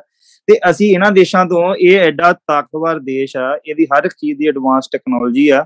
ਮਗਰ ਇਹ ਉਹਨਾਂ ਨੂੰ ਵਕਤ ਪਾਇਆ ਤੇ ਉਹਨਾਂ ਨੇ ਇਹਨਾਂ ਨੂੰ ਵਕਤ ਪਾਇਆ। ਦੋਨਿਆਂ ਨੇ ਇੱਕ ਦੂਜੇ ਨੂੰ ਪਾਏ ਨਹੀਂ ਕਹਿ ਸਕਦੇ ਵੀ ਹੁਣ ਇਹ ਮਾੜਾ ਤੇ ਉਹ ਤਕੜੇ, ਉਹ ਉਹ ਵੀ ਆਪਣੀ ਹਾਰ ਨਹੀਂ ਮੰਨਦੇ ਤੇ ਵੀ ਆਪਣੀ ਹਾਰ ਨਹੀਂ ਮੰਨਦੇ। ਇਸ ਕਰਕੇ ਜਿਹੜੀ ਰਾਜ ਦੀ ਸਥਾਪਤੀ ਜਿਹੜੀ ਹੈਗੀ ਆ, ਇਹਦੀ, ਇਹਦੇ ਜਿਹੜਾ ਅੱਗੇ ਸਮਾਂ ਚੱਲਣਾ ਉਹ ਜਿਹੜਾ ਹੈਗਾ ਉਹ ਵੀ ਦੇਖਣ ਵਿਚਾਰਨ ਦੀ ਜ਼ਰੂਰਤ ਹੈ ਵੀ ਬੜੇ ਗੁੰਝਲਦਾਰ ਮਸਲੇ ਜਿਹੜੇ ਹੈਗੇ ਆ ਇਹਦੇ ਵਿੱਚ ਬਣ ਜਾਂਦੇ ਆ। ਜਿਸ ਤਰ੍ਹਾਂ ਇਹ ਮਾੜਾ ਮਸਲਾ ਜਿਹੜਾ ਹੈਗਾ ਜਦੋਂ ਇਹਨੂੰ ਸਟੱਡੀ ਕਰਦੇ ਆ ਜਦੋਂ ਅਸੀਂ ਇਹਨਾਂ ਦੇ ਦੇਖਦੇ ਆ ਨਾ ਅਸੀਂ ਉੱਪਰ ਵਾਲੀਆਂ ਪਰਤਾਂ ਵੀ ਦੇਖਦੇ ਆ ਤੇ ਬੰਦਾ ਇਹ ਕਹਿੰਦਾ ਵੀ ਇਹਨਾਂ ਦੀ ਲੜਾਈ ਖਤਮ ਹੋਣ ਵਾਲੀ ਤਾਂ ਹੈ ਨਹੀਂ ਇਹ ਤਾਂ ਲੜਾਈ ਕੁਝ ਹੋਰ ਤਰ੍ਹਾਂ ਦੀ ਹੈ। ਬੰਦਾ ਸੋਚਦਾ ਹੈ ਜਿੱਦਾਂ ਅਸੀਂ ਆਮ ਇਨਸਾਨ ਜਦੋਂ ਆਪਸ ਵਿੱਚ ਬੈਠਦੇ ਆ ਜਾਂ ਇਹਨਾਂ ਦੀ ਜਿੰਨਾ ਅਸੀਂ ਇਹਨਾਂ ਦੇ ਮਸਲੇ ਨੂੰ ਸਟੱਡੀ ਕਰਨ ਦੀ ਕੋਸ਼ਿਸ਼ ਕੀਤੀ ਆ ਤੇ ਜਿਸ ਤਰ੍ਹਾਂ ਡਾਕਟਰ ਕਿਰਪਾਲ ਸਿੰਘ ਕਹਿੰਦੇ ਵੀ ਕੋਈ ਇਦਾਂ ਦੀ ਅਗਾਮੀ ਰੂਹ ਇਹਨਾਂ ਦੇ ਵਿੱਚ ਆਵੇ ਜਾਂ ਇਹਨਾਂ ਵਿੱਚ ਇਦਾਂ ਦੇ ਸਿਆਣੇ ਲੋਕ ਆਉਣ ਆਉਣ ਜਿਹੜੇ ਇਹਨਾਂ ਦਾ ਮਸਲੇ ਦਾ ਹੱਲ ਕਰ ਸਕਣ ਤੇ ਕਿਉਂਕਿ ਇਹ ਜਿਹੜਾ ਮੁੱਦਾ ਜਿਹੜਾ ਹੈਗਾ ਪੂਰੇ ਸੰਸਾਰ ਦਾ ਬਹੁਤ ਪ੍ਰਭਾਵ ਪਾਉਣ ਵਾਲਾ ਮੁੱਦਾ। ਜਦੋਂ ਵੀ ਇਹ ਗੱਲ ਇਹਨਾਂ ਦੀ ਲੜਾਈ ਲੱਗਦੀ ਹੈ ਤੇ ਪੂਰੇ ਸੰਸਾਰ 'ਚ ਇੱਕ ਵਾਰੀ ਫਿਕਰ ਪੈ ਜਾਂਦਾ ਇਹਨਾਂ ਦੀ ਲੜਾਈ ਬਾਦੀ ਬਾਦੀ ਕਿਤੇ ਸਾਡੇ ਦੇਸ਼ਾਂ ਤੱਕ ਨਾ ਕਿਉਂਕਿ ਦੇਖੋ ਨਾ ਇਸਲਾਮ ਇਸਲਾਮ ਇਸ ਵੇਲੇ 126 ਮੁਲਕਾਂ ਦੇ ਲਗਭਗ ਉਹਨਾਂ ਦਾ ਪ੍ਰਭਾਵ ਅਸਰ ਹੈ। ਤੇ ਜਿਹੜੇ ਯਹੂਦੀ ਲੋਕ ਨੇ ਉਹਨਾਂ ਦੀ ਹੁਣੇ ਤੁਸੀਂ ਗੱਲ ਕੀਤੀ ਹੈ ਕਿ ਉਹ ਬੜੀ ਐਡਵਾਂਸ ਟੈਕਨੋਲੋਜੀ ਤੇ ਬੈਠੇ ਨੇ ਹਰ ਪਾਸੇ ਉਹਨਾਂ ਦੀ ਪਕੜ ਹੈ। ਇਸ ਕਰਕੇ ਇਹ ਪੂਰੇ ਪੂਰੇ ਵਿਸ਼ਵ ਨੂੰ ਪ੍ਰਭਾਵਿਤ ਕਰਦੇ ਨੇ ਇਹ ਜਿਹੜਾ ਮਸਲਾ ਹੈ ਨਾ ਇਹ ਦੋਨੇ ਦੋਨੇ ਤਰ੍ਹਾਂ ਦੀ ਜਿਹੜੀ ਇਹ ਲੜਾਈ ਹੈ ਜਾਂ ਜੋ ਵੀ ਚੱਲ ਰਿਹਾ ਹੈ ਇਹ ਸਾਰੇ ਵਿਸ਼ਵ ਨੂੰ ਪ੍ਰਭਾਵਿਤ ਕਰਦਾ ਹੈ। ਇਸ ਦੇ ਤੋਂ ਕੋਈ ਦੇਸ਼ ਭੱਜ ਨਹੀਂ ਸਕਦਾ ਕੋਈ ਵੀ ਪਿੱਛੇ ਨਹੀਂ ਹਟ ਸਕਦਾ ਇਸ ਤੋਂ। ਸਾਰਿਆਂ ਨੂੰ ਇਹ ਖੜਨਾ ਪੈਣਾ ਹੈ। ਕੋਈ ਫਲਸਤੀਨੀਆਂ ਵਾਲੇ ਬੰਨੇ ਖੜੇਗਾ ਕੋਈ ਇਜ਼ਰਾਈਲੀਆਂ ਵਾਲੇ ਬੰਨੇ ਖੜੇਗਾ ਤੇ ਇਹ ਅਸਰ ਸਾਰਿਆਂ ਤੇ ਪਾਏਗੀ ਇਹ ਜਿਹੜੀ ਗੱਲ ਚੱਲ ਰਹੀ ਕਿਉਂਕਿ ਇੱਕ ਗੱਲ ਹੋਰ ਦਿਲਬਾਗ ਸਿੰਘ ਜੀ ਆਪਾਂ ਇਹ ਜਿਹਨੂੰ ਵਿਚਾਰੀ ਹੈ ਕਿ ਜਦੋਂ ਸਾਡੇ ਆਪਣੇ ਭਾਰਤ ਦੀ ਗੱਲ ਲਾ ਲਈਏ ਪਹਿਲਾਂ ਅੱਜ ਤੋਂ 20 ਸਾਲ ਪਹਿਲਾਂ ਜਿਹੜੇ ਸਾਡੀ ਜਿਹੜੀਆਂ ਸਰਕਾਰਾਂ ਸੀਗੀਆਂ ਨਾ ਉਹ ਫਿਲਸਤੀਨ ਨਾਲ ਖੜਦੀਆਂ ਸੀਗੀਆਂ। ਪਰ ਕੁਝ ਕੁ ਸਮੇਂ ਦਾ ਬਦਲਾਅ ਹੋਇਆ ਸਾਡੀ ਜਿਹੜੀ ਵਿਦੇਸ਼ ਨੀਤੀ ਜਿਹੜੀ ਹੈ ਅਮਰੀਕਾ ਵੱਲ ਨੂੰ ਉਹਦਾ ਝੁਕਾਅ ਹੋਣ ਲੱਗਾ ਉਹਦੇ ਝੁਕਾਅ ਦੇ ਨਾਲ ਸਾਡੇ ਲੋਕਾਂ ਦਾ ਜਿਹੜਾ ਸਾਡੀ ਜਿਹੜੀ ਭਾਰਤ ਦੀ ਜਿਹੜੀ ਵਿਦੇਸ਼ ਨੀਤੀ ਆ ਜਾਂ ਜਿਹੜੀ ਹੁਣ ਮੌਜੂਦਾ ਆਰਐਸਐਸ ਦੇ ਨਾਲ ਜਿਹੜੀ ਡੋਮੀਨੇਟਡ ਗਵਰਨਮੈਂਟ ਜਿਹੜੀ ਚੱਲਦੀ ਆ ਇਹ ਇਜ਼ਰਾਈਲੀਆਂ ਦਾ ਪ੍ਰਭਾਵ ਜਿਹੜਾ ਹੈਗਾ ਨਾ ਹੁਣ ਜ਼ਿਆਦਾ ਕਬੂਲਦੀ ਇਹ ਦੇਖਦੀ ਆ ਕਿ ਇਹ ਚੀਜ਼ ਦਾ ਇਹਨਾਂ ਨੇ ਆਪਣੇ ਕਸ਼ਮੀਰ ਦੇ ਮੁੱਦੇ ਤੇ ਵੀ ਉਹ ਵਾਲੇ ਜਿੱਦਾਂ ਇਜ਼ਰਾਈਲੀ ਜਿਹੜੇ ਹੈਗੇ ਐਕਸਪੈਰੀਮੈਂਟ ਫਿਲਿਸਤੀਨ ਤੇ ਕਰਨ ਦੇ ਆ ਵੀ ਬੰਬ ਮਾਰ ਕੇ ਉਹਨਾਂ ਨੂੰ ਚੁੱਪ ਕਰਾਉਣ ਦੀ ਕੋਸ਼ਿਸ਼ ਹੈ। ਕਸ਼ਮੀਰੀਆਂ ਦੇ ਤੇ ਇਹਨਾਂ ਨੂੰ ਦਮਨ ਚੱਕਰ ਚਲਾ ਕੇ ਉਹਨਾਂ ਨੂੰ ਚੁੱਪ ਕਰਨ ਦੀ ਕੋਸ਼ਿਸ਼ ਕੀਤੀ ਜਾਂਦੀ ਹੈ। ਉਸੇ ਤਰੀਕੇ ਦਾ ਜਿਹੜਾ ਨੈਰੇਟਿਵ ਇੱਥੇ ਸੈੱਟ ਕਰਨ ਦੀ ਕੋਸ਼ਿਸ਼ ਕੀਤੀ ਜਾਂਦੀ ਵੀ ਇਹਨਾਂ ਨੂੰ ਦਬਾਇਆ ਜਾਊਗਾ। ਇਹ ਜਿਹੜੀਆਂ ਗੱਲਾਂ ਜਿਹੜੀਆਂ ਸਮਝਦੇ ਵੀ ਇਦਾਂ ਹੋ ਰਿਹਾ ਪਹਿਲਾਂ ਕਿਸੇ ਟਾਈਮ ਯਾਸਿਰ ਅਰਾਫਾਤ ਜਿਹੜਾ ਫਿਲਿਸਤੀਨੀਆਂ ਦਾ ਲੀਡਰ ਸੀ ਉਹ ਹਿੰਦੁਸਤਾਨ ਦੀ ਯਾਤਰਾ ਤੇ ਵੀ ਆਉਂਦਾ ਸੀਗਾ। ਤੇ ਇਸ ਟਾਈਮ ਬੈਂਜਾਮਨ ਨੇਤਨਯਾਹੂ ਜਿਹੜਾ ਇਜ਼ਰਾਈਲੀ ਪ੍ਰਧਾਨ ਮੰਤਰੀ ਉਹ ਮੋਦੀ ਦਾ ਜਿਹੜਾ ਹੈਗਾ ਚੰਗੇ ਯਾਰਾਂ ਦੇ ਵਿੱਚ ਦੋਸਤਾਂ ਦੇ ਵਿੱਚ ਉਹਦਾ ਨਾਮ ਮੰਨਿਆ ਜਾਂਦਾ। ਤੇ ਤੁਸੀਂ ਸਮਝਦੇ ਆ ਵੀ ਇਹ ਜਿਹੜੀ ਧਾਰਮਿਕ ਕੱਟੜਤਾ ਇਹ ਕਈ ਵਾਰੀ ਕੋਈ ਹੋਰ ਹੀ ਰੂਪ ਲੈ ਜਾਂਦੀ ਹੈ ਆਪਣੇ ਦੇਸ਼ ਦਾ ਵੀ ਇਹ ਪ੍ਰਭਾਵ ਬਹੁਤ ਪਾਉਂਦੀ ਹੈ ਇਹ ਚੀਜ਼। ਨਹੀਂ ਇਹਦਾ ਅਸਰ ਬਹੁਤ ਪੈਂਦਾ ਹੈ ਜੀ ਇਹ ਇਹ ਚੀਜ਼ ਹੈ ਆ ਕਿਉਂਕਿ ਤੁਸੀਂ ਦੇਖੋ ਨਾ ਉਹ ਨੀਤੀਆਂ ਤਾਂ ਮੈਚ ਕਰਦੀਆਂ ਹੈ ਨਾ ਕਿਤੇ ਨਾ ਕਿਤੇ ਜਾ ਕੇ ਆਰਐਸਐਸ ਦੀਆਂ ਨੀਤੀਆਂ ਤੇ ਇਜ਼ਰਾਈਲੀ ਲੋਕਾਂ ਦੇ ਉਧਰ ਵੀ ਧਾਰਮਿਕ ਕੱਟੜਤਾ ਹੈ ਉਧਰ ਵੀ ਧਾਰਮਿਕ ਕੱਟੜਤਾ ਹੈ। ਉਹ ਨੀਤੀਆਂ ਨੀਤੀਆਂ ਮੈਚ ਕਰਦੀਆਂ ਨਾ ਟੈਲੀ ਕਰਦੀਆਂ ਨੀਤੀਆਂ ਜਾ ਕੇ। ਹਾਂ ਬਿਲਕੁਲ ਬਿਲਕੁਲ ਕਿਉਂਕਿ ਇਹ ਚੀਜ਼ ਜਿਹੜੀ ਹੈਗੀ ਆ ਬੜੀ ਨੁਕਤੇ ਦੀ ਗੱਲ ਹੈ। ਕਈ ਵਾਰੀ ਅਸੀਂ ਜਦੋਂ ਅਸੀਂ ਬਚਪਨ ਚ ਪੜ੍ਹਦੇ ਸੀਗੇ ਤੇ ਸਾਡੇ ਦੇਸ਼ ਦੀ ਜਿਹੜੀ ਫੋਰਨ ਪਾਲਿਸੀ ਸੀਗੀ ਕਈ ਵਾਰੀ ਫਿਲਿਸਤੀਨ ਲੋਕ ਵੀ ਉਹਨਾਂ ਦੇ ਉੱਤੇ ਜ਼ੁਲਮ ਹੋ ਰਿਹਾ। ਉਹਨਾਂ ਦੇ ਹੱਕ ਦੇ ਵਿੱਚ ਜਿਹੜੀ ਕਹਿ ਲਓ ਭਾਵੇਂ ਉਸ ਵੇਲੇ ਕਾਂਗਰਸ ਦੀ ਗਵਰਨਮੈਂਟ ਸੀਗੀ, ਉਹ ਲੋਕ ਜਿਹੜੇ ਹੈਗੇ ਆ, ਉਹ ਫਿਲਿਸਤੀਨੀਆਂ ਦੇ ਹੱਕ ਵਿੱਚ ਖੜਦੇ ਸੀਗੇ। ਅੱਜ ਜਿਹੜਾ ਉਹ ਬੈਂਜਾਮਨ ਨੇਤਨਯਾਹੂ ਜਿਹੜਾ ਹੈਗਾ, ਜਾਂ ਉਹਦੀ ਅਗਲੀ ਜਿਹੜੀ ਟੀਮ ਜਿਹੜੀ ਹੈਗੀ ਆ, ਸਾਡਾ ਜਿਹੜਾ ਦੇਸ਼ ਦਾ ਪ੍ਰਧਾਨ ਮੰਤਰੀ, ਕਹੋ ਜਾਂ ਸਾਡੀ ਸਰਕਾਰ, ਇਹਦਾ ਝੁਕਾ ਜਿਹੜਾ ਵਿਦੇਸ਼ ਨੀਤੀ ਦਾ, ਇਹਨਾਂ ਵੱਲੋਂ ਹੋਣਾ ਸ਼ੁਰੂ ਹੋ ਗਿਆ। ਤੇ ਉਹਨਾਂ ਦੇ ਤੋਂ ਵੀ ਇਹ ਚੀਜ਼ਾਂ ਜਿਹੜੀਆਂ ਹੈਗੀਆਂ, ਤਰੀਕੇ ਲੱਭਦੇ ਆ ਵੀ ਅਸੀਂ ਵੀ ਉਹ ਤਰੀਕੇ ਨਾਲ ਕਰਕੇ ਅਸੀਂ ਜਿਹੜੇ ਕਸ਼ਮੀਰੀ ਲੋਕਾਂ ਨੂੰ ਦਬਾਉਣ ਦੀ ਕੋਸ਼ਿਸ਼ ਕਰੀਏ, ਜਾਂ ਉਹ ਲੋਕ ਜਿਹੜੇ ਆਪਣਾ ਹੱਕ ਮੰਗਦੇ ਆ ਅਸੀਂ ਉਹਨਾਂ ਨੂੰ ਕਿਸੇ ਤਰੀਕੇ ਦੇ ਨਾਲ ਦਬਾਅ ਤੇ ਦਮਨਕਾਰੀ ਨੀਤੀ ਦੇ ਨਾਲ ਉਸ ਤਰੀਕੇ ਦੇ ਨਾਲ ਖਤਮ ਕਰਨ ਦੀ ਕੋਸ਼ਿਸ਼ ਕਰੀਏ। ਚਾਹੇ ਇੱਥੋਂ ਦੀ ਕੰਡੀਸ਼ਨ ਤੇ ਉੱਥੋਂ ਦੀ ਕੰਡੀਸ਼ਨ ਚ ਹਜ਼ਾਰਾਂ ਜਿਹੜੀਆਂ ਗੁਣਾ ਦਾ ਜਿਹੜਾ ਫਾਸਲਾ ਹੈਗਾ ਹਜ਼ਾਰਾਂ ਤਰੀਕੇ ਦਾ ਫਾਸਲਾ ਮਗਰ ਸਾਡੀਆਂ ਸਰਕਾਰਾਂ ਵੀ ਜਿਹੜੀਆਂ ਹੈਗੀਆਂ ਇਹਨਾਂ ਦੇ ਮੌਕੇ ਜਿਹੜੇ ਖਾਲੀ ਨਹੀਂ ਜਾਣ ਦਿੰਦੀਆਂ। ਮੇਰਾ ਇਹ ਕਹਿਣ ਦਾ ਭਾਵ ਤੇ ਬਾਕੀ ਗੱਲ ਇਹ ਆ ਵੀ ਇਹ ਮਸਲਾ ਜਲਦੀ ਤੋਂ ਜਲਦੀ ਹੱਲ ਹੋਵੇ। ਅਸੀਂ ਵੀ ਚਾਹੁੰਦੇ ਆ ਪਰਸੋਂ ਮੁਸਲਮਾਨ ਵੀਰਾਂ ਦੇ ਜਿਹੜਾ ਹੈਗਾ ਬੜਾ ਪਵਿੱਤਰ ਤਿਉਹਾਰ ਵੀ ਸੀ। ਅਸੀਂ ਉਹਦੇ ਤੇ ਵੀ ਭਾਈ ਮੇਗਰਾ ਸਿੰਘ ਜੀ ਨੇ ਸ਼ਬਦੀ ਵਿਚਾਰ ਕੀਤੀ ਸੀ। ਬੜੇ ਕਮਾਲ ਦੀ ਸਾਹਿਬ ਸ੍ਰੀ ਗੁਰੂ ਨਾਨਕ ਦੇਵ ਜੀ ਦੇ ਜਿਹੜੀ ਮੁਸਲਮਾਨ ਧਰਮ ਦੇ ਪ੍ਰਤੀ ਸਾਹਿਬ ਸ੍ਰੀ ਗੁਰੂ ਨਾਨਕ ਦੇਵ ਜੀ ਦੀ ਜਿਹੜੀ ਸਿੱਖਿਆ ਹੈ ਪੰਜ ਨਮਾਜ਼ਾਂ ਪੰਜ ਪੰਜਾ ਪੰਜੇ ਨਾ ਉਹਦੇ ਉੱਤੇ ਕਰਕੇ ਤੇ ਮੁਸਲਮਾਨ ਭਰਾਵਾਂ ਨੂੰ ਅਸੀਂ ਵਾਇਸਾ ਮਾਨਵਤਾ ਤੋਂ ਅਸੀਂ ਵੀ ਜੁੜੇ ਤੇ ਸਾਡੀ ਸੋਚ ਸੀ ਵੀ ਅਸੀਂ ਤੁਹਾਨੂੰ ਵੀ ਜੋੜਦੇ ਮਗਰ ਉਹ ਸਮਾਂ ਇੱਕਦਮ ਇਸ ਤਰ੍ਹਾਂ ਦਾ ਬਣਿਆ ਵੀ ਅਸੀਂ ਉੱਤੇ ਇੱਕ ਲੌਂਗ ਡਿਬੇਟ ਚਾਹੁੰਦੇ ਸੀਗੇ ਵੀ ਅਸੀਂ ਵੀ ਜਿਹੜੀ ਹੈਗੀ ਆ ਵੀ ਗੁਰੂ ਨਾਨਕ ਸਾਹਿਬ ਜਿਹੜੀ ਹੈਗੀ ਦਾ ਪੂਰੇ ਮਾਨਤਾ ਮੈਂ ਇੱਕ ਗੱਲ ਇੱਕ ਗੱਲ ਇੱਥੇ ਐਡ ਕਰਾਂਗਾ ਤੁਸੀਂ ਗੱਲ ਪੂਰੀ ਕਰ ਲਓ ਫਿਰ ਮੈਂ ਇਹਦੇ ਤੇ ਇੱਕ ਗੱਲ ਪਰ ਮੈਂ ਆਪਣੇ ਦਿਲ ਦੀ ਇਹ ਗੱਲ ਹੈ ਵੀ ਬੜਾ ਸੋਹਣਾ ਸੀ ਪਰਸੋਂ ਵੀ ਇੱਕ ਪ੍ਰੋਗਰਾਮ ਇਸ ਮਸਲੇ ਦੇ ਉੱਤੇ ਕਿਉਂਕਿ ਵਾਇਸ ਆਫ ਮਾਨਵਤਾ ਦੇ ਅਸੀਂ ਇਹ ਰੱਖੀ ਇਸ ਕਰਕੇ ਆ ਨਹੀਂ ਰੱਖੀ ਇਸ ਕਰਕੇ ਵੀ ਅਸੀਂ ਸਾਰੇ ਧਰਮਾਂ ਦੇ ਪੁਰਵੀ ਮਨਾ ਸਕੀਏ ਸ਼ਾਮ ਨੂੰ ਸਾਡਾ ਇੱਕ ਪ੍ਰੋਗਰਾਮ ਅਮਰੀਕਾ ਦੇ ਹਿਸਾਬ ਨਾਲ ਚੱਲਣਾ ਜਿਹਦੇ ਵਿੱਚ ਸਾਰੇ ਮੁਸਲਮਾਨ ਵੀਰਾਂ ਨੇ ਬਹਿ ਕੇ ਇੱਕ ਦੂਜੇ ਨੂੰ ਵਧਾਈਆਂ ਵੀ ਦੇਣੀਆਂ ਤੇ ਉਹਨਾਂ ਨੇ ਆਪਣੀਆਂ ਧਰਮ ਦੀਆਂ ਸਿੱਖਿਆਵਾਂ ਦੀ ਆਪਸ ਚਰਚਾ ਵੀ ਕਰਨੀ ਜਿਸ ਤਰ੍ਹਾਂ ਅਸੀਂ ਕਰਦੇ ਆ ਨਾ ਇਸ ਤਰ੍ਹਾਂ ਵਾਇਸ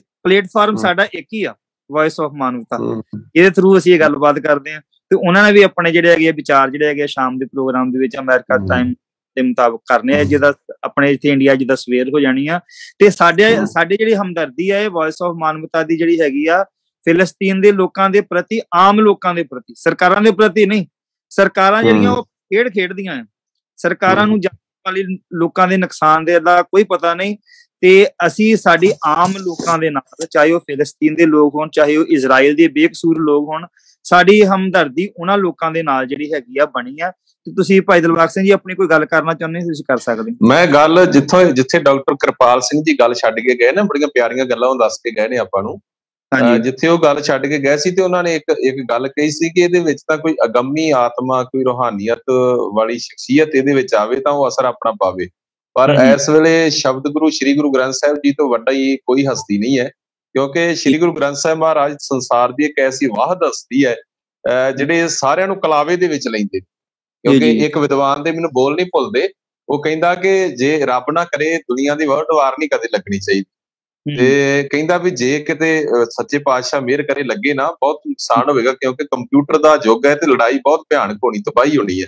ਕਹਿੰਦਾ ਜੇ ਪਰ ਫਿਰ ਵੀ ਮੈਂ ਕਹਿੰਦਾ ਕਿ ਜੇ ਕਿਤੇ ਵਰਲਡ ਵਾਰ ਲੱਗੇਗੀ ਕਿਤੇ ਤੇ ਉਸ ਤੋਂ ਬਾਅਦ ਜਿੰਨੀ ਤਬਾਹੀ ਹੋਏਗੀ ਤੇ ਤਬਾਹੀ ਤੋਂ ਬਾਅਦ ਜਿਹੜੇ ਲੋਕ ਬਚਣਗੇ ਨਾ ਕਿਤੇ ਕੋਈ ਚਾਰ ਈਸਾਈ ਭਰਾ ਬਚੇ ਹੋਣਗੇ ਕੋਈ 10 ਮੁਸਲਮਾਨ ਭਰਾ ਬਚੇ ਹੋਣਗੇ ਚਾਰ ਹਿੰਦੂ ਭਰਾ ਬਚੇ ਹੋਣਗੇ ਕਿਤੇ ਕੋਈ ਸਿੱਖ ਬਚੇ ਹੋਣਗੇ ਤੇ ਕਹਿੰਦਾ ਉਹਨਾਂ ਸਾਰਿਆਂ ਨੂੰ ਇਕੱਠੇ ਕਰ ਇੱਕ ਜਗ੍ਹਾ ਤੇ ਬਿਠਾਉਣ ਦੀ ਕਲਾਵੇ ਦੇ ਵਿੱਚ ਲੈਣ ਦੀ ਜੇ ਕਿਸੇ ਕੋਲ ਸ਼ਕਤੀ ਹੋਏਗੀ ਤਾਂ ਸਿਰਫ ਸ੍ਰੀ ਗੁਰੂ ਗ੍ਰੰਥ ਸਾਹਿਬ ਜੀ ਦੇ ਕੋਲ ਹੋਏਗੀ। ਕਿਉਂਕਿ ਗੁਰੂ ਗ੍ਰੰਥ ਸਾਹਿਬ ਜੀ ਦੇ ਅੰਦਰ ਹਿੰਦੂ ਸੱਚੇ ਦੀ ਵੀ ਗੱਲ ਕੀਤੀ ਹੈ ਸੱਚੇ ਮੁਸਲਮਾਨ ਦੀ ਵੀ ਕੀਤੀ ਹੈ ਸਿੱਖ ਦੀ ਤਾਂ ਕੀਤੀ ਕੀਤੀ ਹੈ।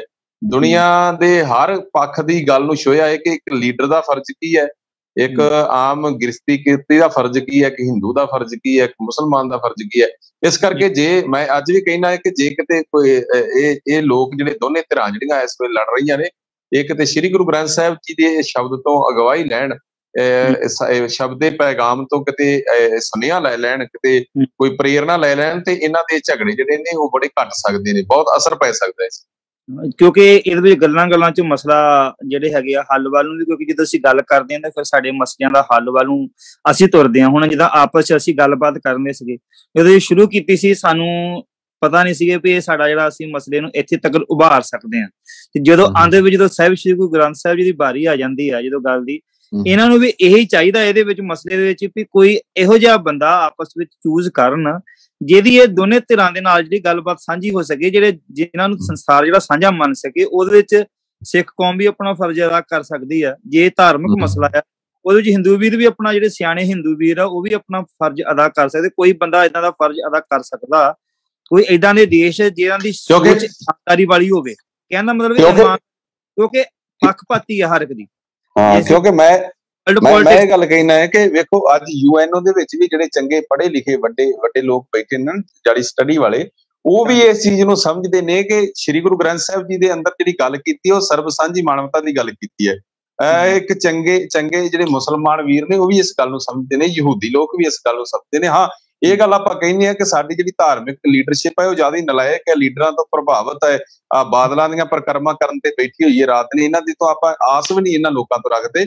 ਬਟ ਅਸੀਂ ਖੁਦ ਇਹ ਗੱਲ ਕਹਿੰਦੇ ਆ ਵਾਇਸ ਆਫ ਮਾਨਵਤਾ ਦੇ ਚੈਨਲ ਦੇ ਰਾਹੀਂ ਕਿ ਜੇ ਸਾਡੀ ਇਸ ਗੱਲ ਨੂੰ ਕਿਤੇ ਸੁਣਦਾ ਹੋਵੇ ਕੋਈ ਪਹੁੰਚਾ ਸਕੇ ਉਹਨਾਂ ਲੋਕਾਂ ਤੱਕ ਕਿ ਜਿਹੜੇ ਯੂਐਨਓ ਦੇ ਵਿੱਚ ਲੋਕ ਬੈਠੇ ਨੇ ਜਾਂ ਇਹਨਾਂ ਦੋਨਾਂ ਕੌਮਾਂ ਦੇ ਵਿੱਚ ਜਿਹੜੇ ਚੰਗੇ ਸੂਝਵਾਨ ਲੋਕ ਅਸਰ ਰਸੂਖ ਰੱਖਣ ਵਾਲੇ ਲੋਕ ਨੇ ਜੇ ਉਹ ਕਿਤੇ ਸ਼ਬਦ ਗੁਰੂ ਗ੍ਰੰਥ ਸਾਹਿਬ ਮਹਾਰਾਜ ਜੀ ਤੋਂ ਅਗਵਾਈ ਲੈ ਕੇ ਇੱਕ ਕਲਾਵੇ ਦੇ ਵਿੱਚ ਆ ਸਕਦੇ ਨੇ ਕਿਉਂਕਿ ਇਹ ਗੱਲ ਵਕੜੀ ਹੈ। ਇਹ ਐਸੀਆਂ ਭਿਆਨਕ ਲੜਾਈਆਂ ਦੇ ਸਮੇਂ ਜੇ ਗੱਲਬਾਤ ਦੇ ਵਿੱਚੋਂ ਜਿਹੜੀ ਇੱਕ ਗੱਲ ਵਕੜੀ ਪੈ ਜਾਂਦੀ ਹੈ ਨਾ ਉਹ ਗੱਲ ਵਕੜੀ ਜਿਹੜੀ ਹੈ ਪੱਕੀ ਹੂੰ। ਹੈਲੋ। ਹੈਲੋ।